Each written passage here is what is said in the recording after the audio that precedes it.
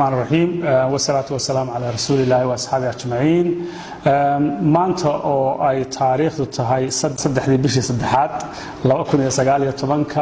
maalintu ay tahay axad waxaa cusbitaal ka weyne magaalada garoowe nagu soo booqday madaxweynaha dowladda puntland siciid cabdilaahi deni booqashadaasoo ujeeddadoodu ahayd ukuurgalka xaaladda cusbitaalka magaalada garoowe runtii booqashadaasi si fiican bay u dhacday.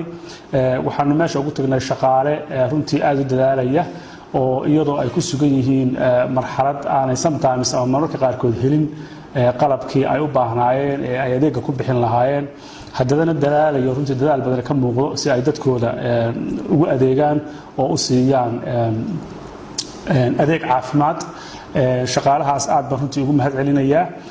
Waad la socotaanoo cusbitaalka ama dhakhtarka garoowe waxaa la dhisay muddo hore. Xilligaas magaalada garoowe way koobnayd dad yar baa joogay.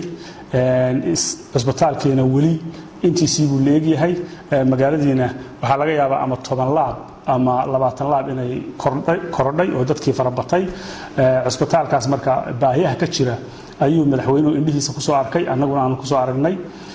Cusbitaalkaasi runtii wixii uu baahnaa waanu isla soo aragnay.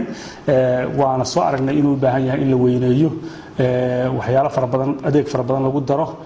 Dhismo ahaan la kobciyo shaqaale ahaan. Dib loo eego oo reform lagu sameeyo. Waxyaalahaasoo dhan waxaanu rajaynaynaa. Muddooyinka dhow inaanu qabanno.